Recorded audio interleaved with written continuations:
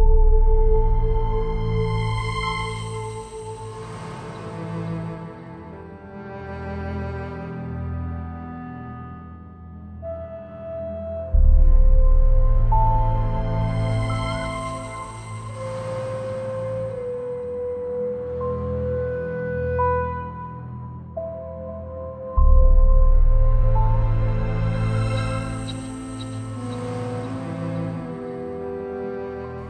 Καλώς ήρθατε στον Πολυχώρο Volt, Μελενίκο 26, στο Βοτανικό.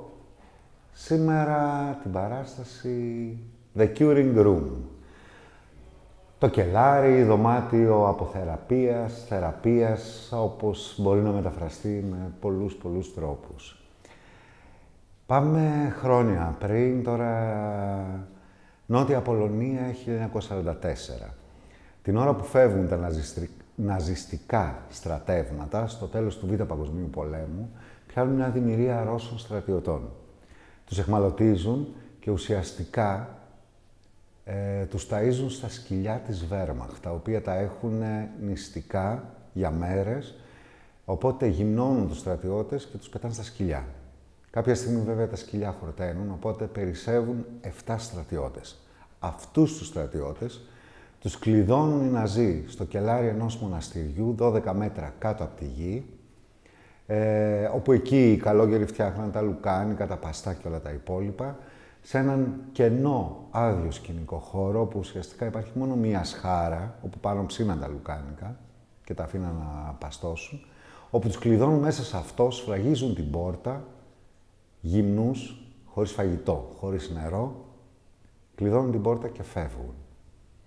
Και εμείς βλέπουμε αυτές τις απεγνωσμένες προσπάθειες αυτών των 7 ανδρών όλες αυτές τις μέρες να επιβιώσουν. Ένα σκληρό έργο, βασισμένο σε αληθινά γεγονότα, ένα κοινωνικό αντιπολεμικό δράμα, ίσως από τα πιο σημαντικά που έχουν πέσει ποτέ στα χέρια μου. Ε, βλέπουμε αυτοί οι άνδρες μένουν μέσα σχεδόν 39 μέρες, κάποιοι από αυτούς, όχι όλοι, ε, οι οποίοι επιβιώνουν με έναν και μοναδικό τρόπο, γλύφοντας ουσιαστικά τις πέτρες, την πάχνη που υπάρχει, αυτό είναι το νερό που μπορούν να πιούν, ε, η υγρασία που υπάρχει σε αυτό το κελάρι, από τις πέτρες, και βέβαια αναγκαστικά καταφεύγουν στο πιο αποτρόπο έγκλημα, την ανθρωποφαγία. Αναγκάζονται να φάει ο ένας τον άλλον για να μπορέσουν να κρατηθούν στη ζωή.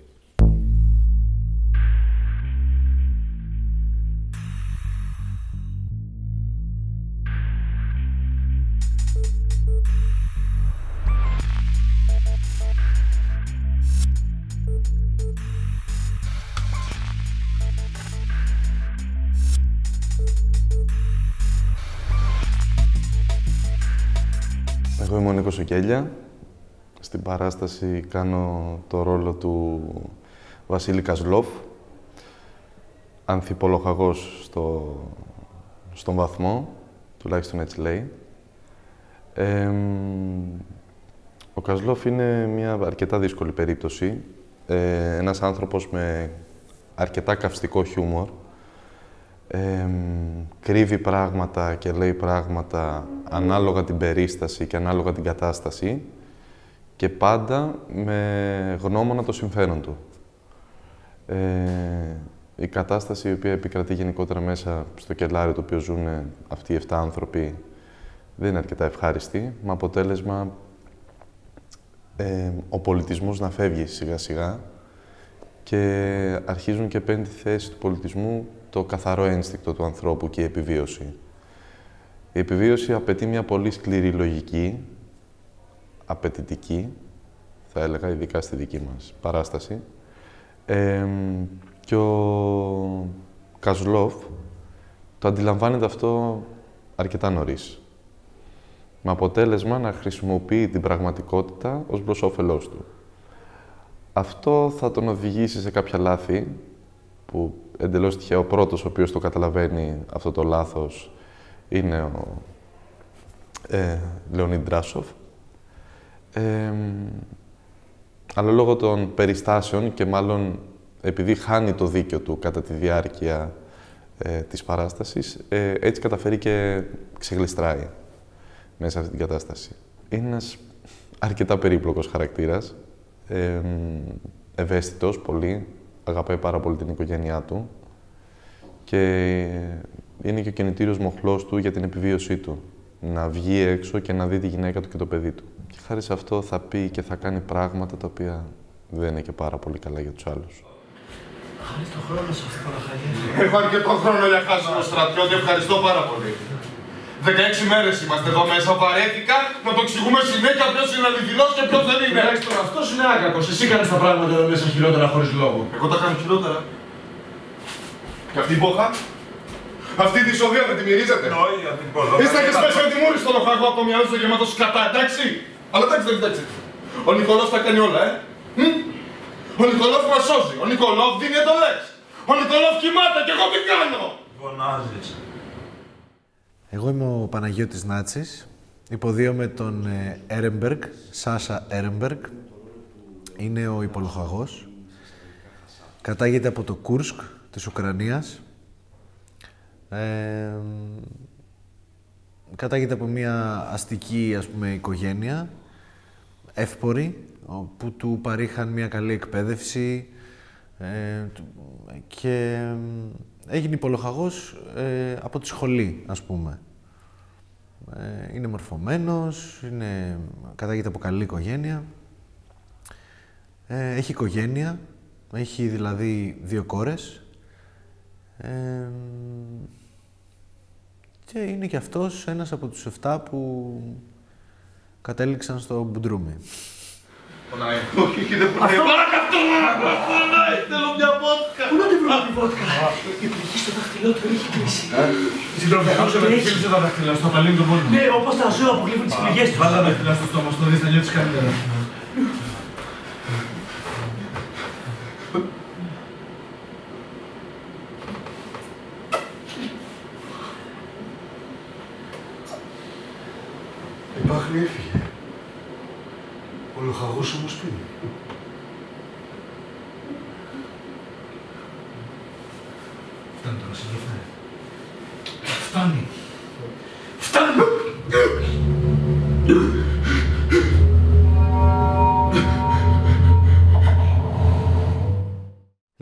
Ο Στέλιος Ψαρουδάκης. Ε, ο ρόλος ο δικός μου είναι ο Βίκτορ Νικολόφ. Είναι ο λοχαγός. Είναι ένα πολύ αγαπημένο παιδί. Έχουμε αγαπηθεί πολύ τον τελευταίο καιρό, τα τελευταία δύο χρόνια. Ε, ο άνθρωπος αυτός είναι ουσιαστικά, είναι και αυτός αστός. Είναι ενδεχομένως ο, ο πιο μορφωμένος, ο, ίσως ανώτερο βιωτικού επίπεδου από όλους τους υπόλοιπους, ε, από μια οικογένεια η οποία έχει προφανώς ευνοηχθεί από όλο αυτό το καθεστώς, ε, έχει βρεθεί μέσα σε όλη αυτή την, ε, το νέο καθεστώς της Σοβιετικής Ένωσης, το υποστηρίζει στεναρά, πιστεύει πολύ σε αυτό, ε, είναι αθώος σε σχέση με όλους τους υπόλοιπους, είναι από τους ανθρώπους που βρεθήκαν στο στρατό, πήραν αξιώματα, ε, αλλά δεν είναι ο, ο σκληρός πολεμιστής. Έχει κάποια ιδεώδη, έχει κάποια πιστεύω, είναι νομίζω, έτσι όπως τον έχω φανταστεί εγώ, ότι ε, είναι από αυτούς τους Σοβιετικούς της τότε εποχής που ζούσαν σχετικά καλά, ήταν μορφωμένο παιδί, προφανώς φαντάζομαι ότι ήξερε μουσική, ήξερε όλα, όλα αυτά, είχε ε, απολαύσει όλα τα καλά του Σοβιετικού καθεστώτος, δεν ξέρω για τα υπόλοιπα. Ε, σε αυτή την παράσταση λοιπόν βρέθηκε ο, ο άνθρωπος αυτός να είναι στον πόλεμο, δεν νομίζω ότι ήταν επιλογή του, Παρ' όλα αυτά, ε, πιστεύει πάρα πολύ στην επανάσταση της Σοβιετικής Ένωσης. Αυτό έχει περάσει μέσα του. Ε, είναι το, το ίδιο του το είναι. Δεν μπορεί να, να φύγει από αυτό, δεν μπορεί να φύγει καθόλου από αυτή τη λογική. Ε, και γι' αυτό ένας λόγος που θαυμάζει το Σούκερουκ είναι αυτός, ότι ήταν από τους ανθρώπους που είχαν ζήσει την Επανάσταση ε, και τον θεωρεί και κοντά του. Αυτά. Ε, γενικά είναι ε, σχετικά αθώος για αυτή τη συνθήκη την οποία βρίσκεται. δεν, θα, δεν, δεν μπορεί να φανταστεί το πού μπορεί να φτάσει όλο αυτό το πράγμα. Το δικό του το μυαλό δεν, δεν, δεν είναι μέχρι εκεί. Φαντάζεται τον κόσμο λίγο πιο ιδανικά, λίγο πιο ιδεατά, λίγο πιο... Πιστεύει περισσότερο σε αξίες, πιστεύει περισσότερο σε ιδανικά, πιστεύει περισσότερο σε, μ, σε έναν κόσμο όπως τον πίστευε όλη η Σοβιετική Ένωση τότε που τον έφτιαχνε ε, και δεν μπορεί να καταλάβει πώς μπορεί αυτό το πράγμα να αλλάξει. Είστε ντροπή για το μεγάλο πείραμα. Αυτού θα πρέπει να τηρήσει τώρα στο καιρό, γιατί δεν τηρηστήσε. Αλλά βέβαια σε κρατούσε και εσύ. Μετά από 20 χρόνια απαντήστε την ιδεολογία σου μπροστά στην πρώτη δυσκολία. Γι' αυτό δεν πήρες ποτέ σφάτο. Κάτι τέτοιο και ένα είναι Πασκάλ τώρα και χάνουμε τον πόλεμο. Αν με επιτρέπετε. Δεν επιτρέπεται. Εγώ είμαι αυτός που αιμορραγεί. Όταν κατατάχθηκα, ήξερα ότι μπορεί να πέθουν, αλλά ήξερα ότι με το θάνατό μου θα έσωσα τουλάχιστον τους συντρόφους μου. Αν μου επιτρέπετε, σύντροφε Λοχαγέ Νικολόφ, επιβίωσα από το λοιμό, είδα με τα μάτια μου το θάνατο στο Λένιγκρατ και τη Μόσχα. Και τι με αυτό. Εγώ είμαι ο Βασίλης Τσιγκριστάρης. Ε, ο ρόλος μου στο έργο είναι ο Νίλς Σούκερουκ. Ε, είναι ένας ρόλος, είναι ένας άνθρωπος που έχει πιστέψει στην, ε, στο σοβιετικό ιδεώδες και στην επανάσταση και σε όλα αυτά. Ε, μ, αυτό κατά τη διάρκεια του έργου που βλέπουμε είναι ένας άνθρωπος που σπάει από... ε, αρχίζουν να καταραίουν όλα τα ιδεώδη του και να ε, πέφτει και πιο χαμηλά και να καταλήγει στα, δικ- στα ανθρώπινα ένστικτα, τα πολύ βασικά που δεν έχουν ουδέμια σχέση με το οποιοδήποτε ιδεώδης, όχι μόνο το σοβιετικό. Ε, έχει πίσω του, είναι από τους χαρακτήρες που έχει πίσω του, είναι ένας παλιός αστός, ο οποίος λόγω συγκεκριμένων συνθήκων ε, βρέθηκε στην Επανάσταση. Οπότε, ναι, είναι σαν να έχει δύο χαρακτήρες που παλεύουν. Τι- η- Ο αστός ευγενής που, εντάξει, φυσικά κάποια στιγμή χα- έχασε τα χρήματά του και ο στρατιώτης που έχει πιστέψει σε αυτό το επαναστατικό ιδεώδες. Γιούρα. Καταλαβαίνεις τι λέμε. Μάλιστα, Λοχαγέ. Σύντροφε Λοχαγέ, δεν είπαμε μόνο. Σύντροφε Λοχαγέ. Σύντροφε Λοχαγέ. Σύντροφε Λοχαγέ, κάτι λάθος, δεν είμαι Τι κάνετε με το Τα άδεια σου ρε Τζαμαλεξιδιάρο. Τι είναι αυτά τώρα; Καλησπέρα. Ε, είμαι ο Ευθύμης Γεωργόπουλος και κάθε Παρασκευή, Σάββατο και Κυριακή είμαι ο Γιούρι Γεγκόροφ. Είμαι μέλος της τρίτης στρατιάς τεθωρακισμένων πρότεινος υπό τις διαταγές του Πετρόφ. Όσοι μείναμε, είμαστε σε ένα κελάρι στην Πολωνία, στα, κοντά στα τέλη του Παγκοσμίου Πολέμου πια και είμαστε υπό τις διαταγές του λοχαγού Νικολόφ.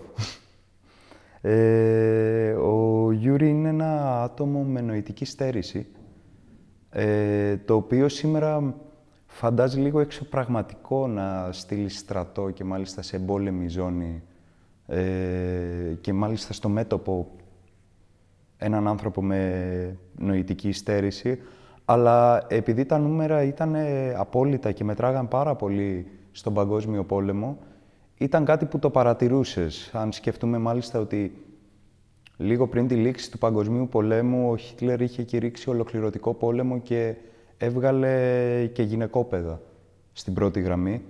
Ήταν κάτι που το συναντούσες τότε στα πεδία μάχης. Άνθρωποι οι οποίοι δεν είχαν καμία ελπίδα επιβίωσης, απλά ήταν στόχοι που θα απασχολούσαν ένα μάτι, ενός σκοπευτή. Αυτός ο άνθρωπος μοιραία φτιάχνει τη δική του πραγματικότητα, συνδέεται πάρα πολύ με έναν απλό στρατιώτη που είναι μαζί στο ίδιο άρμα μάχης, το, ο οποίος είναι υπεύθυνος και για την επιβίωσή του μέχρι εκείνη τη στιγμή, τον Γιώργη Πολέκο.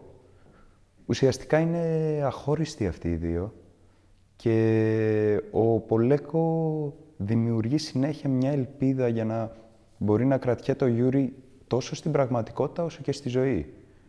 Ε, χωρίς τον Πολέκο δεν πιστεύω ότι θα μπορούσε ε, αυτός ο άνθρωπος να φτάσει μέχρι εκεί που έφτασε. Και μέσα στο έργο παρατηρούμε ότι πάρα πολλές φορές πλάθει τη δικιά του πραγματικότητα.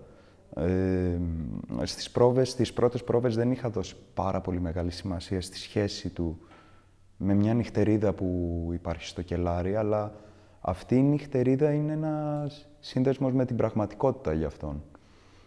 Κάλλιστα, εγώ το έχω φανταστεί ότι κάνουν ολόκληρες συζητήσεις, ε, της λέει πράγματα για τη μαμά του και φαντάζεται ότι του λέει και αυτή πράγματα από τον έξω κόσμο, γιατί ας το θέσουμε ως εξής ότι ο Γιούρι έχει μείνει στην νοημοσύνη ενός τρίχρονου παιδιού. Αν δεν επιτρέπετε σύντροφε ανθυπασπιστή, λέω να δώσω τη θέση ενός φίλου άλλου. Πού; Α; Σύντροφε ανθυπολογική Καζλόφ, Ναι. τι λέτε να πάρετε εσείς στη θέση μου; Μ; Όχι. Γιατί; Λειψάω πολύ. Πονάει όλο μου το σώμα και δεν έχω καμία διάθεση να με καβαλήσει ο ψυχανόματος. Και καλά και δεν γλύφεις τη ρότα του βάρη του. Και δεν θα ζήλεψε σου και Οι πέτρες δίπλα σου έχουν μαζέψει λίγη πάχνη. Ε, και δεν με ξύμψες πιο νωρίς. Για να μην σου δημιουργήσω Εγώ είμαι ο Στέλιος ο Καλαϊτζής. Ε, υποδίωμαι το ρόλο του Λεωνίτη Ντράσοφ ή σε εισαγωγικά Χασάπη. Ο ρόλος λοιπόν του Ντράσοφ ε, μέσα στο έργο είναι αυτός ο οποίος θα υποκινήσει στην ουσία την ε, ροή της εξέλιξης του έργου. Είναι αυτός που είναι ο πιο ενστικτόδης μέσα στο έργο. Είναι ο άνθρωπος που θα κινήσει τα νήματα ώστε να εξελιχθεί λίγο η ιστορία όσον αφορά την επιβίωση αυτών των ανθρώπων. Ε, συναισθηματικά θα έλεγα ότι είναι κενός. Όταν, εννοώ, όταν λέω κενός συναισθηματικά, εννοώ ότι είναι ο άνθρωπος ο οποίος ε, ε, δεν θα σταθεί στο συναίσθημά του ή στην ανθρωπιά που μπορεί να έχει κάποιος. Ε, με το ένστικτό του θα ακολουθήσει αυτό που πραγματικά θέλει. Είτε το θέλουν οι άλλοι, είτε όχι. Αυτό αυτομάτως τον κάνει και αρκετά επικίνδυνο. Είναι ο πιο επικίνδυνος ε, χαρακτήρας μέσα στο έργο. Τι ήταν αυτό; Δεν είναι μονή. Τους την είχαν στη Μέγνα Δεν ξέρουμε ποιος πήρε πολύ ποιον, έχει ακόμα. Μα κάνει σύντροφε να είναι καλά. Λες τα βασικά από το όνομα, ξέρω, δεν φταίμε. Ε, Τι μπορούμε να κάνουμε; Να περιμένουμε. Όχι, εγώ, εγώ δεν μπορώ να περιμένω. Εγώ μπορώ να περιμένω. Πάντα περιμένω. Εγώ είμαι ο Τάσος Οδέδες. Ε, στην παράσταση υποδίωμαι το ρόλο του Γιώργη Πολέκο, ενός ε, Γεωργιανού στρατιώτη, ο οποίος είναι κάπου στην ηλικία των ε, 18 και είναι ένα παιδί, ένα από τα πολλά παιδιά εκείνης εποχής, τα οποία ε, τα πήραν από την ε, οικογένεια για να πολεμήσουν ε, κατευθείαν. Ένα παιδί το οποίο δεν έχει ζήσει τίποτα στη ζωή του, ε, ήταν μάλλον από ένα χωριό, από μια φάρμα που έμαθε μόνο να ζει με ζώα ε, και όλη τη ζωή ενός ε, χωρικού ας πούμε. Ε, και έπεσε στη, στη φρίκη του πολέμου. Ο χαρακτήρας αυτός είναι μ, έτσι λίγο πιο ευχάριστος από τους ε, υπόλοιπους. Είναι αυτός που, προσ- που προσπαθεί να φτιάξει το κλίμα, να πει κάποια αστεία, ε, να γίνει αρεστός με το χαρακτήρα που έχει.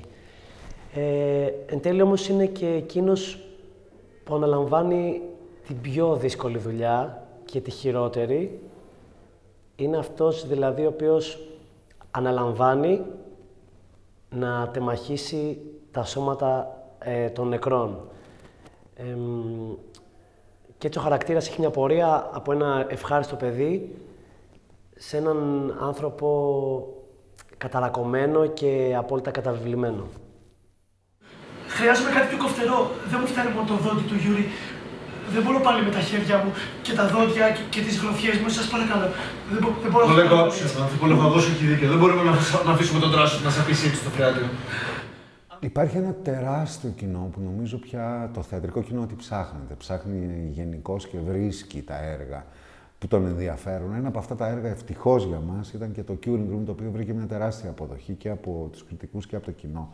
Ε, σίγουρα τους αφορά το θέμα. Εμείς το φοβηθήκαμε πάρα πολύ, δεν θα πω ψέματα, γιατί ήταν πάρα, μα πάρα πολύ σκληρό έργο. Πέρα το ότι 7 άντρες, αυτόματα είναι και λίγο ανδρικό, ε, πράγμα που δεν αφορά πολύ το άμεσα, τουλάχιστον με την πρώτη σκέψη, το γυναικείο κοινό, παρόλα αυτά, είναι ένα έργο το οποίο, επειδή είναι πάρα πολύ πλούσιο σε συναισθήματα, σαφώς και άγγιξε όλο αυτό το κοινό που δύο χρόνια τώρα έρχεται και γεμίζει στο θέατρο. Ε, όλα τα έργα που έχουν να πούν πάρα πολλά πράγματα, νομίζω ότι πια το κοινό θα τα βρει. Μπορεί να αργήσει λίγο στην αρχή. Το Curing Room βέβαια δεν ήταν από αυτές τις παραστάσεις, το βρήκαν πάρα πολύ σύντομα, πάρα πολύ γρήγορα. Αλλά νομίζω ότι αν μη τι άλλο αφορούσε. Βέβαια υπήρχε και ο κίνδυνος, γιατί είναι μια παράσταση η οποία αφορά, είχε δύο θέματα ταμπού. Το ένα ήταν η ανθρωποφαγία και το άλλο ήταν το γυμνό. Τα οποία βέβαια θα μπορούσαν πάρα πολύ εύκολα ε, να είναι το πρώτο μεγάλο φάουλ της παράστασης και να αφορά πάρα πολύ λίγο κόσμο ή να βγει πάρα πολύ εντός εισαγωγικών δεύτερο θέαμα. Ε, ευτυχώς και τα δύο αυτά πράγματα ξεπεράστηκαν πάρα πολύ εύκολα και βέβαια τα προσέξαν πάρα πολύ. Ήταν, είναι μια παράσταση η οποία δουλέψαμε εξωφρενικά πολύ. 4,5 μήνες πρόβες και 1,5 φέτος, οπότε φτάνουμε κοντά 6 μήνες πρόβες. Ε, πράγμα που σημαίνει ότι προσέξαμε πάρα πολύ τη λεπτομέρεια, τους φωτισμούς, το αισθητικό κομμάτι και βέβαια και να προφυλαχτούν και οι ηθοποιοί, να αισθανθούν άνετα για να μπορέσουν να φύγουν από τον πρώτο σκόπελο που είναι το γυμνό, παίζουν τα παιδιά δύο ώρες γυμνή επί σκηνής, και να πάνε στην ουσία των ρόλων που είναι 7 υπέροχοι ανδρικοί ρόλοι, ε, 7 άνδρες που έχουν έξω από το κελάρι οικογένειες, παιδιά, γυναίκες, ε, μια ολόκληρη ζωή, ένα ολόκληρο κόσμο κάθε ένας ήρωας και το μόνο που θέλουν και επιθυμούν είναι το πιο απλό να επιστρέψουν σόι και αυλαβείς πίσω στις οικογένειές τους. Και εκεί είναι όλη η τραγικότητα αυτού του έργου. Το οποίο βέβαια είναι και αληθινή ιστορία και να μείνουμε λίγο σε αυτό. Ε, ουσιαστικά κάποιοι επιζούν από αυτούς τους ήρωες. Αυτοί που επιζούν, δύο ουσιαστικά, αυτοί οι δύο ε, τους ανεβάζουν πάνω στο τέλος. Έρχονται οι Ρώσοι στρατιώτες, τους βρίσκουν, τους ανεβάζουν πάνω, τρώνε ένα γεύμα, κάνουν ένα μπάνιο μετά από τις 39 μέρες εγκλισμού ε, δίνουν αναφορά στους στρατιώτες, στους ανωτέρους τους ουσιαστικά, το τι συνέβη όλες αυτές τις μέρες εκεί κάτω, πώς φτάσαν στο φόνο, πώς σκοτώσαν και όλα τα υπόλοιπα και μετά οι συστρατιώτες τους τουφεκίζουν. Αυτή η ιστορία έγινε μελέτη πραγματεία στο Χάρβαρντ, αυτή βρήκε ο Ντέιβιντ Ίαν Λι και έκανε, βασίστηκε πάνω σε αυτή τη μελέτη από τους στρατιώτες που αφηγήθηκαν πώς βρήκαν αυτούς τους δύο εκεί μέσα, και τι ιστορίες είπαν και πάνω εκεί βασίστηκε όλο αυτό το θεατρικό έργο. Όχι, λάθος. Ναι, το θυμήθηκα. Λοιπόν, είναι ένας μεθυσμένο Ουκρανό στη Μόσχα και παίρνει μια κοπέλα τάμπολισο, ένα να την πάει στο δωμάτιό του. Και ε, δυσκολεύεται πάρα πολύ να. Όχι, πώς το έλεγε. Να. Να την γαμίσει. Ναι. Α, ναι, ναι, να διεισδύσει. Δυσκολευόταν πολύ να διεισδύσει και, και ξαφνικά δεν χρειάζεται. Και της λέει, να σου πω, γιατί είσαι έτσι ε, κλειστή, είσαι παρθένα και δεν μου το πες. Και του λέει αυτή, δεν ξέρω πώς το κάνετε εσείς στο Κίεβο. Εμείς πάντως στη Μόσχα το βγάζουμε πρώτα από καλσό. Χρονικά. Χρονικά βρισκόμαστε ε, στον ε, Απρίλη του 44. Σωστά. Ναι, ναι, ναι. ναι. Είμαστε Είναι... Απρίλη του 44 στη Νότια Πολωνία, σε ένα ποτάμι, στο Δνίστερο, όπου εκεί γίνεται μία μάχη ε, μεταξύ των Ναζί και των Σοβιέτ για να πάρουν αυτή την περιοχή, για να πάρουν τον έλεγχο του ποταμιού. Να πούμε ότι ε, εκείνη την εποχή είναι, ε, είναι η χρονολογική εποχή που τελειώνει ο πόλεμος. Είναι στα τελευταία του στάδια, που στα τελευταία του στάδια ε, υπήρχαν και οι περισσότερες απώλειες σε αυτόν τον πόλεμο. Εμείς λοιπόν τοποθετούμαστε σε μια ε, περίοδο που οι Ναζί καθώς χάνουν τον πόλεμο, αρχίζουν και οπισθοχωρούν. Καθώς λοιπόν οπισθοχωρούν, ε, χάνονται και από τις δύο πλευρές πάρα πολλοί στρατιώτες. Συγγνώμη και καταλήγουμε... Και, και πάνω, σε, πάνω σε αυτό που λέει ο Τάσος, ε, ενώ ας πούμε αυτοί παλεύουν για να πάρουν την, ε, να πάρουν ας πούμε, τον έλεγχο της περιοχής, ο Στάλιν, επειδή τελειώνει ο πόλεμος, κοντεύει να φτάσει στο Βερολίνο. Ο Χίτλερ χάνει τον πόλεμο, οπότε ε, ανακαλεί ας πούμε, όλες τις δυνάμεις και τις στέλνει όλες πρώτη γραμμή, που είναι το Βερολίνο.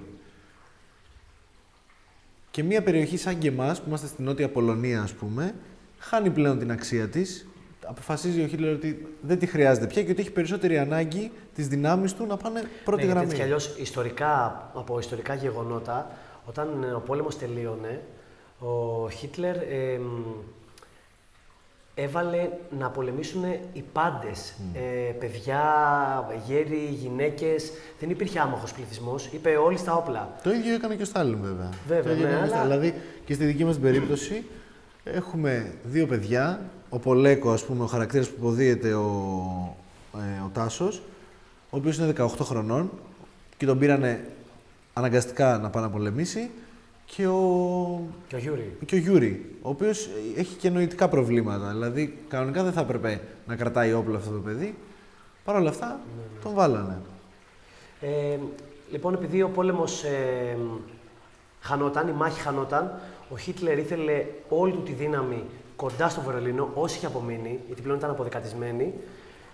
Οι Ναζί λοιπόν τι κάνανε, όπως και σε όλη την, ε, την πορεία του πολέμου, κάνανε πειράματα ε, με ανθρώπους και τέτοια, αποφασίσανε ότι από ένα τάγμα που πιάσανε τον ε, Σοβιέτ, θα επιλέξουν 7 άτομα και θα τα ρίξουν σε ένα μπουντρούμι ενός μοναστηριού, θα τους κλειδώσουν και απλά θα αφήσουν την περιοχή.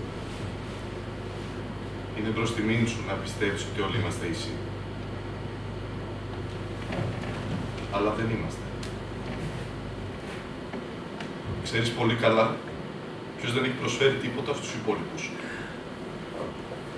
Ξέρεις ποιο πρέπει να διαλέξουμε. Έλα, Βασίλη, τράβα. Όχι. Τραβά εσύ για μένα. Δεν μπορώ να το κάνω αυτό. Το νιώθω πια τώρα χεσμένο στο χέρι μου. Τράβα. Καταρχάς ήμουν πάρα πολύ τυχερός σε αυτή τη δουλειά γιατί είχα 7 πάρα πολύ καλούς ηθοποιούς. Συν οι τρεις που από πέρυσι που έγιναν αντικαταστάσεις φέτος, συν ένα εξαιρετικό team που δούλεψε πάνω σε αυτό, φώτα, μουσική, σκηνικός χώρος, τα πάντα. Ε, φωτογραφικό υλικό. Ε, έγινε μια τεράστια μελέτη πάνω στο κείμενο, γιατί έπρεπε να κατανοήσουμε κι εμείς, να πάμε εμείς στην εποχή, να δούμε τι συνέβαινε στην Νότια Πολωνία το 1944, ποιες ήταν οι συνθήκες, ένας πόλεμος που χανόταν, πώς ήταν οι Ρώσοι. Υπάρχουν πάρα πολλές φωτογραφίες από στρατιώτες που ήταν στον πόλεμο, πάρα πολλές ε, μαρτυρίες που έπρεπε να μελετήσουμε, να δούμε τι γινόταν, πώς, συνθήκες, πώς είναι και μετά έπρεπε να μελετήσουμε εμείς και τις συνθήκες εκεί μέσα. Τι σημαίνει πείνα; 8 μέρες, 9, να μην, φας, να μην μπορείς να φας τίποτα. Πού οδηγείσαι από αυτό ή τι σημαίνει το να μην πιεις νερό. Και αυτό που κάναμε και στις πρόβες ήταν εγώ που τους έλεγα όταν διψάτε προσπαθήστε να μην πιείτε νερό. Για λίγη ώρα, όσο αντέξετε. Για να δείτε αυτό το αίσθημα που έχεις, που ουσιαστικά καίγεσαι. Γι' αυτό και οδηγούνται στο έγκλημα και δεν ξέρουμε τι θα κάναμε εμείς αν συνέβαινε αυτό το πράγμα σήμερα. Πόσο μπορείς να κρατηθείς και να μην φτάσεις στο φόνο ή να πας στην αυτοκτονία, γιατί και αυτό το βλέπουμε μέσα σε αυτό το έργο. Και βέβαια, για μένα το ακόμη πιο σημαντικό, η τύψεις, ε, η θλίψη που μπορεί να σου δημιουργήσει αυτό όταν χορτάσεις την πείνα σου. Τι γίνεται μετά. Πώς αυτοί οι άνθρωποι θα μπορούσαν να συνεχίσουν να ζουν μετά από αυτές τις 39 μέρες. Θα γινόταν ξανά ποτέ άνθρωποι. Είναι ερωτήσεις οι οποίες ακόμη και τώρα, δύο χρόνια μετά από αυτό το έργο, προσπαθούμε να τις απαντήσουμε και εμείς. Και είναι πράγματα τα οποία κάθε φορά που θα κάτσω να σκεφτώ το έργο, νομίζω ότι δεν ξέρω αν μπορώ να δώσω τις απαντήσεις.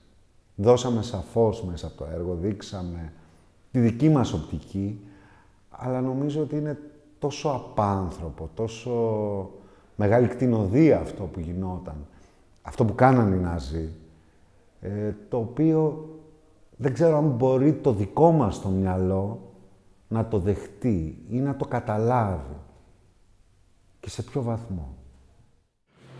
Ακούστε, είναι από πάνω μας έρχονται να μας σώσουν αυτή τη στιγμή, ακούστε. Βασίλη, δεν ακούω τίποτα.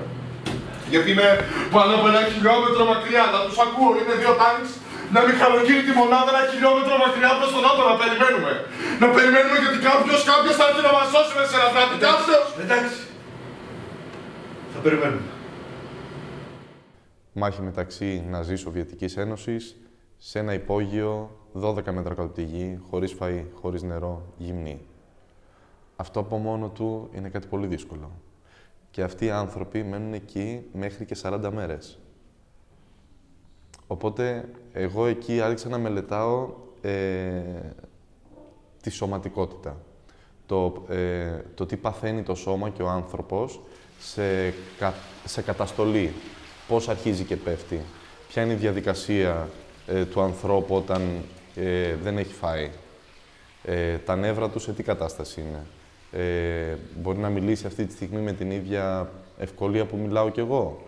Αυτά που λέει, τι βάρος έχουν σκηνικά. Γιατί, και πόσο ευερέθιστος είναι.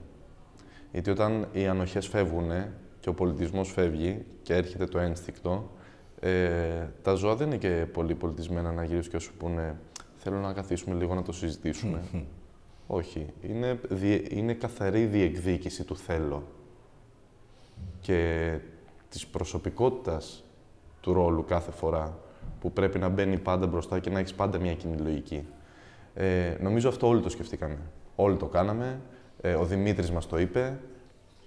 Ε, σαν ομάδα κάθε φορά σκεφτόμασταν και λέγαμε, γιατί μιλάμε για πτώματα επί σκηνής, και λέγαμε ότι παιδιά μιλάμε για φόνο αυτή τη στιγμή, δεν μιλάμε για ένα brunch. Ε, οπότε στηριχτήκαμε πάρα πολύ εκεί, ε, στο ρυθμό μας, επικοινωνία. Νομίζω ένα πολύ ισχυρό κομμάτι που έχει αυτή η παράσταση είναι ότι η ομάδα που είναι επί σκηνής, είναι και οι 7 στον ίδιο χώρο, μιλάνε για το ίδιο πράγμα και τους συμβαίνουν αυτά μαζί, εκεί. Οπότε αυτό είναι ένα πολύ ενδιαφέρον στοιχείο, νομίζω, στη δική μας παράσταση τουλάχιστον και σαν ομάδα δέσαμε πάρα πολύ σε αυτό. Σκέφτομαι... Σκέφτομαι συνέχεια την περιγραφή σου για το συνταγματάρχη Πετρόφ. Πώς έτρεχε να γλιτώσει με τα μάτια και τα χέρια δεμένα. Σκέφτομαι συνέχεια τους άλλους. Τον Παβελόφ, τον Κούσνετζοφ, τον Κούνεκ. Εμάς γιατί μας άφησαν να ζήσουμε; Γιατί τα σκυλιά είχαν χορτάσει. Ναι, αλλά γιατί εμάς; Γιατί εμάς τους αυτά. Γιατί να άφησαν τον Γιώργη παρά για να φροντίζει τον Γιώργο. Γιατί να άφησαν ζωντανό τον Λέον Τράσο παρά για να μας δείξουν τι είμαστε ικανοί να κάνουμε για να επιβιώσουμε; Να επιβιώσουμε. Ναι. Λοιπόν, ως συγγραφέας, το ξεκινήσω όλο από την αρχή γιατί είχα τη σκέψη τώρα που άκουγα το στέλιο. Ε, κάνει ένα πάρα πολύ έξυπνο πράγμα με την έννοια ότι βάζει ένα καλό και ένα κακό στην αρχή, όπως θα περιμέναμε να τα δούμε σε ένα έργο. Και πέντε υπόλοιπους χαρακτήρες που είναι πιο φυσιολογικοί άνθρωποι. Με την έννοια ότι φυσικά όλοι θα ταυτιζόμασταν με τον Βίκτορ Νικολόφ, τον, τον καλό, γιατί όλοι θα λέγαμε βέβαια αυτό πρέπει να γίνει, αλλά ξέρουμε ότι είναι κάτι καθαρά θεατρικό, όπως και όλοι θα συχαινόμασταν τον κακό, τον ε, ε, Ντράσοφ, ε, όπως θα έπρεπε να συμβεί σε ένα έργο. Και αυτού του δύο λοιπόν, αφού έχει προλάβει ο θεατής και έχει κάπως πιστέψει ότι αυτό είναι το πράγμα και εκεί κινείται, τους βγάζει από το έργο και αφήνει πέντε ανθρώπους που είναι πιο κοντά στα φυσιολογικά πλαίσια. Οπότε και εγώ είμαι λίγο πιο κοντινός, υπότης, ρομαντικός, πρώην ευγενής, αλλά πιο ανθρώπινος χαρακτήρας από τους υπόλοιπους. Υπάρχει ένα τεράστιο δίπολο κάτι με, μέσα στους 7 αυτούς χαρακτήρες. Ο ένας είναι ο Λέον Ντράσοφ, ο οποίος είναι ένας άνθρωπος που σπάει μόνιμα την οικειότητα, δεν εμπιστεύεται κανέναν και έχει σαν πρωταρχικό του μέλημα να επιβιώσει αυτός με οποιοδήποτε κόστος. Και υπάρχει και ο Γιούρι, ο οποίος είναι ένα παιδί που συμβολίζει για μένα τη ζωή και σε επαναφέρει στο ανθρώπινό σου. Ότι εκεί που όλοι είναι σε μια έκρυθμη κατάσταση και σε μια τρελή κατάσταση, υπάρχει το σχόλιο αυτού του ανθρώπου που λαϊκά θα λέγαμε ότι δεν του κόβει, αλλά σου λέει κάποια πράγματα αυτονόητα όταν είσαι άνθρωπος. Σε επαναφέρει στην ανθρώπινη σου φύση. Αυτή, πιστεύω ότι είναι η λειτουργία του Γιούρι μες στο έργο. Να, να υπενθυμίζεις σε όλους ότι είμαστε άνθρωποι.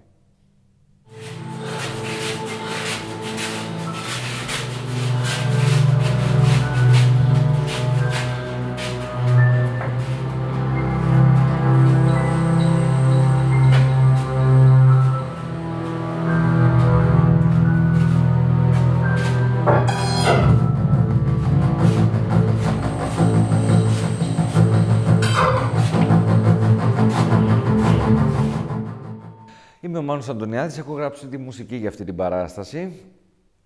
ε, όπως και για τις φυλακισμένες, είναι μία από τις τρεις παραστάσεις ε, που ολοκληρώνουν τη θεματική του εγκλισμού που έχουμε κάνει με τον Δημήτρη τον Καρατζιά, σκηνοθέτη της παράστασης. Ε, τώρα, σε αυτή τη συγκεκριμένη δουλειά, ε, είναι ένα, επειδή είναι ένα πάρα πολύ σκληρό έργο, το οποίο αφορά τους ε, στρατιώτες οι οποίοι έχουν μείνει σε ένα κελάρι, περιμένοντας να έρθουν να τους ελευθερώσουν απ' έξω, ε, έχω προσπαθήσει να δημιουργήσω, να δημιουργήσει, να προσπάθησα να δημιουργήσω δύο κόσμους ε, μουσικά. Ο ένας είναι ο απ' έξω κόσμος, η ελπίδα που ε, έχουν αυτοί οι άνθρωποι για το απ' έξω και η πραγματικότητα που υπάρχει έξω, δηλαδή την ώρα που φεύγουν τα τάγκς, την ώρα που φεύγουν τα στρατεύματα, όλο αυτό το χάος του πολέμου που υπάρχει έξω και που το ακούνε αυτοί ε, ελπίζοντας να σωθούν αρχικά. Και στη μετέπειτα πορεία του έργου αυτά που ακούν απ' έξω που ελπίζουν ότι κάποιος έρχεται να τους ελευθερώσει ανεκπλήρωτη επιθυμία μέχρι το τέλος του έργου. Ε, και ο άλλος ο κόσμος είναι ουσιαστικά η ψυχοσύνθεση των ηρώων μέσα σε αυτό το κελάρι, οι οποίοι βλέπουμε ότι σιγά σιγά οδηγούνται σε μία ζωώδη, ε, αν θέλετε, κατάσταση. Ε, δυστυχώς το ανθρώπινο, η ανθρώπινη παιδεία, η ανθρώπινη σκέψη σιγά σιγά υποχωρεί μπροστά στα ένστιχτα κυρίως για φαγητό και για νερό και φυσικά στο ένστιχτο της επιβίωσης που υπάρχει μεταξύ τους και τους τελικά τους αποτελειώνει, τους ε, βάζει σε μια κατάσταση να γίνονται σιγά σιγά πιο πολύ ζώα παρά άνθρωποι, με την έννοια του χτίνους. Ε, καταλήγουν στην ανθρωποφαγία εξάλλου, άρα έχουν πλέον αποβάλει πάρα πολλές από τις συνθήκες που έχουμε οι άνθρωποι για την συναναστροφή μας με τους άλλους ανθρώπους. Και ενώ προσπαθούν να στηρίξουν ένας τον άλλον και να συμπαρασταθούν και να βοηθήσουν, την ίδια στιγμή τον άνθρωπο που προσπαθούν να το στηρίξουν το βλέπουν και λίγο σαν λία. Είναι η τροφή τους, είναι ο τρόπος τους για να ζήσουν τελικά, να επιβιώσουν πάντα με την ελπίδα ότι κάποιος θα έρθει να τους βγάλει από εκεί μέσα.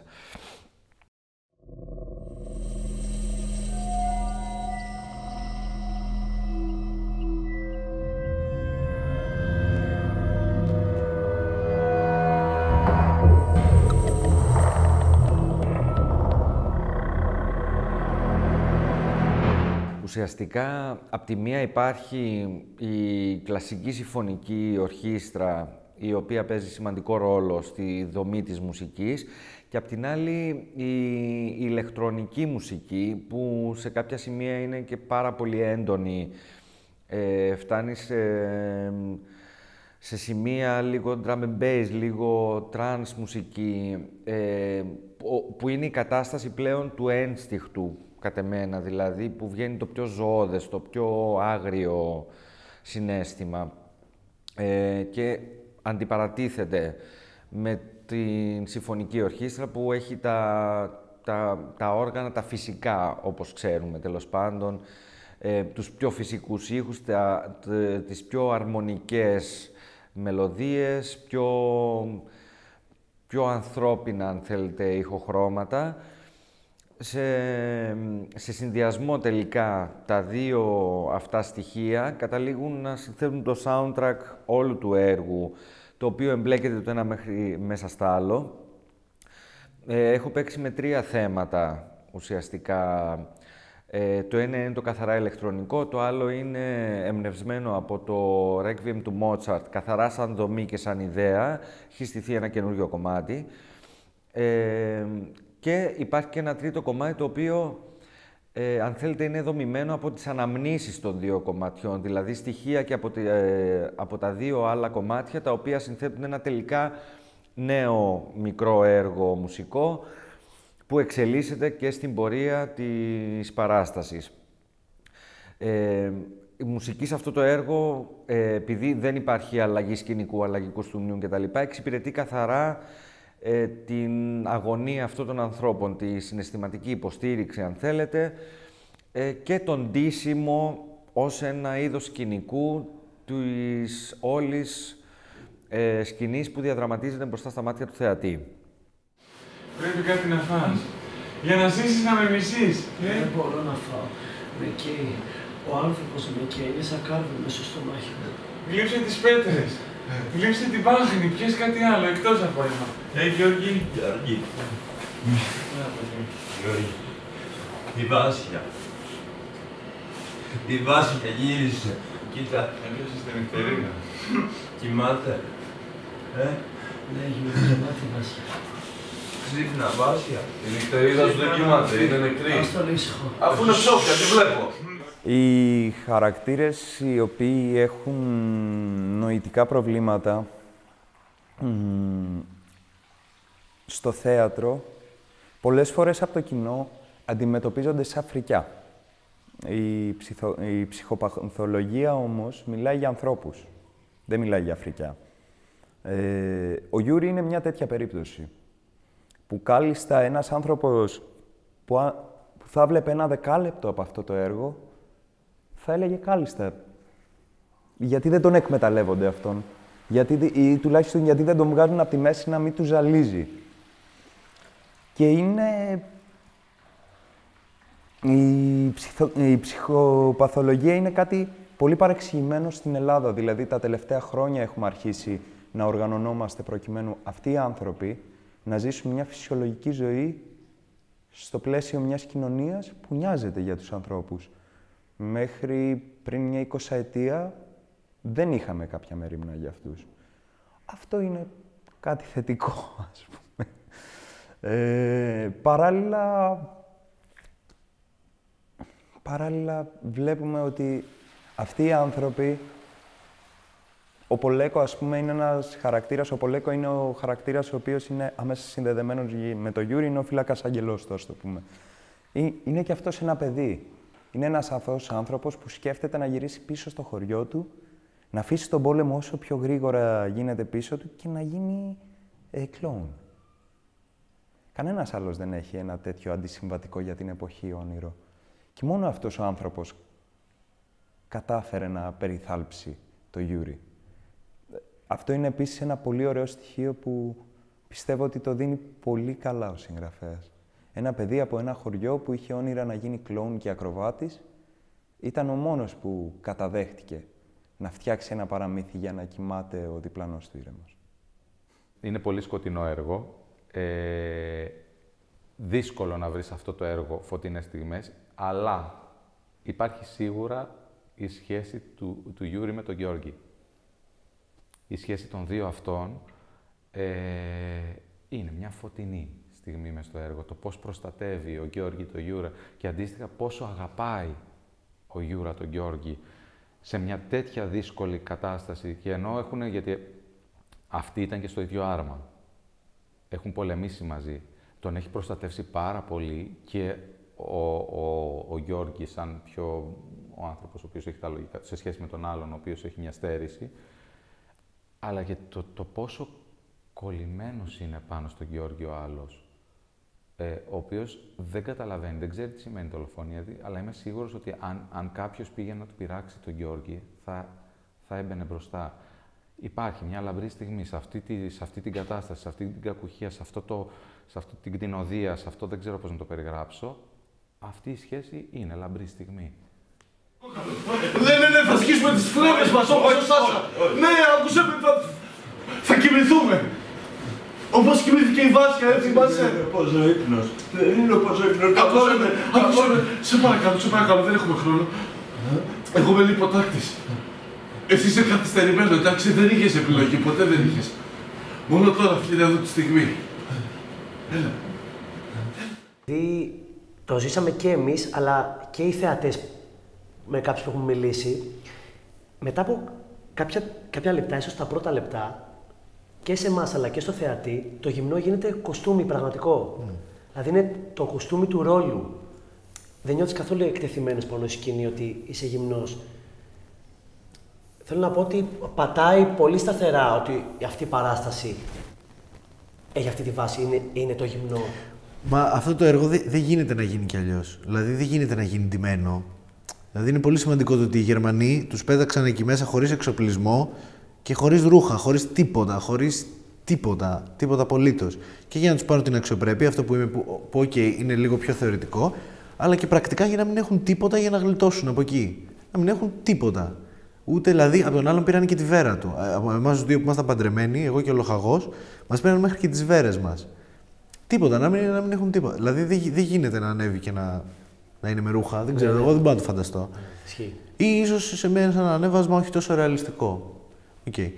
Ε, και επίσης από γραφής το διαχειρίζεται πάρα πολύ ωραία το γυμνό και ο, ο συγγραφέας, ο David Ian Lee. Δηλαδή στην πρώτη σκηνή βάζει το λοχαγό να, να το διαχειρίζεται έτσι, να λέει ακριβώς αυτό το πράγμα που λέμε εμείς τώρα. Ότι επειδή και αυτοί νιώθουν άβολα, όπως και εμείς, σαν ηθοποιοί, ας πούμε, μπορεί να νιώθαμε άβολα στην αρχή με το ότι είμαστε γυμνοί. Ε, στην πραγματικότητα, εννοείται και οι φαντάροι αυτοί ένιωθαν πολύ άσχημα που ήταν γυμνοί. Μπροστά, να είσαι γυμνός μπροστά στο λοχαγό σου ή ακόμα και ο λοχαγός να είναι γυμνός μπροστά στους φαντάρους του είναι, είναι πολύ περίεργο. Ε, και το διαχειρίζεται πάρα πολύ ωραία απογραφής ο συγγραφέας αυτό. Επίσης, η παράσταση αυτή ε, έχει παιχτεί μόνο άλλη μια φορά στο Λονδίνο. Και, Ε, και στο, α- αυτό είχε, ναι, και στο φεστιβάλ του Ενδιμβούργου που είχε γραφτεί το... Που ήταν, ε, ήταν η ίδια συνθήκη. Ναι. Δηλαδή, όσες φορές το έργο αυτό παίχτηκε, είχε γυμνό. Ε, βέβαια. Ναι. Ναι. Εγώ θα έλεγα ότι η σχέση με το κοινό είναι στη συγκεκριμένη παράσταση είναι περίεργη. Ε, δεν θυμάμαι ποτέ τον εαυτό μου να έχω βγει όταν έχουν έρθει γνωστοί μου άνθρωποι που μπορώ να μιλήσω μαζί τους να τους ρωτάω σου άρεσε; Ένιωθα άβολα από την πρώτη μέρα να ρωτήσω σου άρεσε, να σου αρέσει τι; Οπότε ήμουνα, ε, αυτό γεννήθηκε μια άλλη ερώτηση που, μου- σε αυτό, από αυτή την παράσταση που ήταν πώς νιώθεις; Που νομίζω ότι αυτό ήταν το κλειδί για μένα ώστε να καταλάβω τι ένιωσε ο καθένας. Γιατί είναι- όταν ρωτάς τι νιώθεις θα σου πει ο άλλος ένιωσε αυτό. Στο λέει αυτόματα. Οι περισσότεροι ε, βγήκανε με ένα σφίξιμο. Ε, με ένα βάρος. Αυτό το βάρος εγώ το μεταφράζω λίγο ως ενοχή.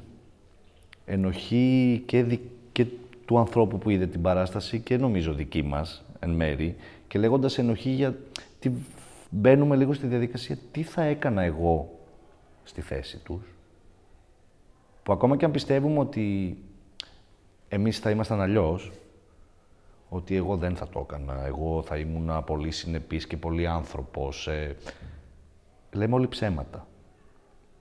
Και νομίζω ότι αυτό είναι και ένα μεγάλο στοιχείο της παράστασης και του έργου. Ε, αυτή η ενοχή νομίζω μας συνδέει πάρα πολύ με τους θεατές. Που αναλόγως μετά ο καθένας ε, θα βιώσει, θα σκεφτεί, θα νιώσει διαφορετικά πράγματα. Μπορεί να κάποιος, ακόμα και ένας άνθρωπος θεατής, ο οποίος μου έχει πει, ας πούμε, «OK, είναι ένα έργο που εμένα, ας πούμε, δεν με ενδιαφέρει, σαν έργο, αλλά κάτι μου έκανε.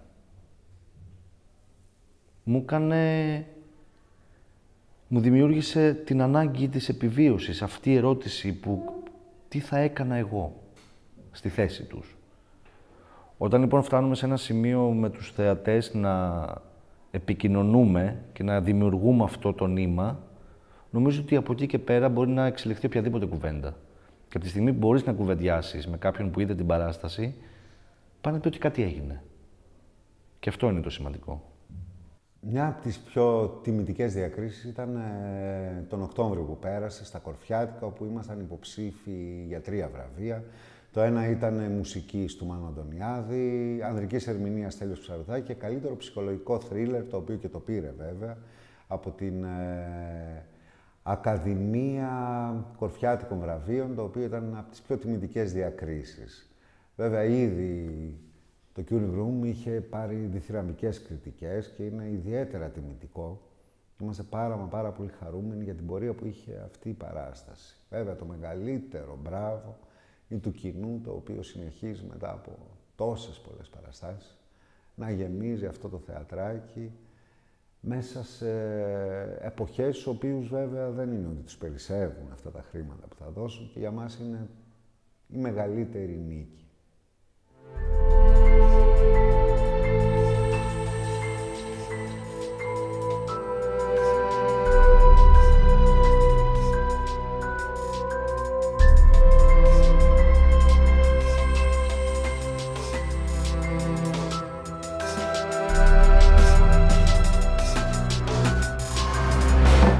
Το ηθικό δίδαγμα είναι ότι στο φινάλε είμαστε όλοι άνθρωποι, ότι δεν υπάρχουν μεγάλες ιδεολογίες, ότι έχουμε μόνο έναν, έναν εαυτό που φέρουμε, κάποια συναισθήματα πολύ βασικά και ένα ένστικτο επιβίωσης. Και ο συγγραφέας γι' αυτόν ακριβώς το λόγο κάνει ένα πάρα πολύ έξυπνο πράγμα. Φέρνει δύο αντίπαλα στρατόπεδα, ε, την Χιτλερική Γερμανία και την Σοβιετική Ρωσία επί Στάλιν, ε, τα οποία, ε, ε, ενώ ο Χίτλερ θεωρείται παγκόσμια και πολιτικός ορθά ο χειρότερος και ο Στάλιν έχει κάνει αντίστοιχες πολύ μεγάλες θηριωδίες, ε, οπότε φέρνει εμάς θεατές να δούμε δύο στρατόπεδα που δεν επιλέγουμε ποιος είναι, το καλό, ποιος είναι ο καλός και ποιος είναι ο κακός. Ε, απλά είναι ε, κοινότητες με ιεραρχίες και από τις δύο πλευρές. Βλέπουμε τη μία πλευρά εμείς τώρα που έχουν δημιουργηθεί. Ε, είναι, καταλαβαίνουμε ότι είναι όλα απολύτως ανθρώπινα φτιαχτά. Δεν, δεν, έχει, δεν υπάρχει κάποια ανώτερη δύναμη που τα έχει κινήσει. Και αυτοί οι άνθρωποι, αυτό το ανθρωπίνος φτιαχτό φυσικό είναι να καταρρεύσει γιατί δεν έχει κανένα νόημα, καμία ιδεολογία. Και, και γι' αυτό ο πόλεμος είναι παράλογος, γιατί και αυτό δείχνει το έργο, οπότε ε, πάνω έρχομαι και στα λόγια του Στέλιου. Ε, δεν, ε, γίνεται ένας πόλεμος, ε, μαθαίνουμε ιστορικά, μαθαίνουμε γεγονότα και καλός ή κακός έχουμε δημιουργήσει μία άμυνα, δεν, δεν τα καταλαβαίνει το μυαλό μας. Ε, μαθαίνουμε γεγονότα, ναι, έχω μάθει στην τάδε μάχη, σκοτωθήκαν 9 εκατομμύρια άνθρωποι, πόπο, ας πούμε. Και σαν να μην μας αφορά κιόλας ιδιαίτερα, γιατί είναι ένας πόλεμος, ναι, αυτοί οι Έλληνες παλέψανε για την ανεξαρτησία. Τα, καλά κάναμε. Και εμείς τα παλεύαμε. Δεν είναι, αυτό δείχνει το έργο, ότι δεν είναι έτσι. Δεν είναι. Δηλαδή, και αυτοί ήταν άνθρωποι όπως εμείς, και αυτοί απλά βρεθήκαν σε μια πάρα πολύ δύσκολη συνθήκη και τελικώς, πραγματικά το πιστεύω, δεν υπάρχει τίποτα από το μυαλό σου να κρατηθείς από ένα σημείο και μετά σε οποιονδήποτε πόλεμο εξού είπαμε Στάλιν, Χίτλερ, τα πάντα είναι ε, ένστικτο και επιβίωση. Δεν, δεν, δεν μπορείς να πιαστείς από ούτε κοινωνικές δομές, ούτε από θρησκευτικές δομές, ούτε από οποιαδήποτε πνευματικά και υψηλά ιδεώδη. Είναι, είναι, είναι δύο λουκάνικα μέσα σε ένα τηγάνι και, και, και λέει το ένα λουκάνικο στο άλλο Πω, πω, ζέστηκαν εδώ μέσα, ε, και απαντάει το άλλο λουκάνικο θάμπα. Το λουκάνικο μίλησε.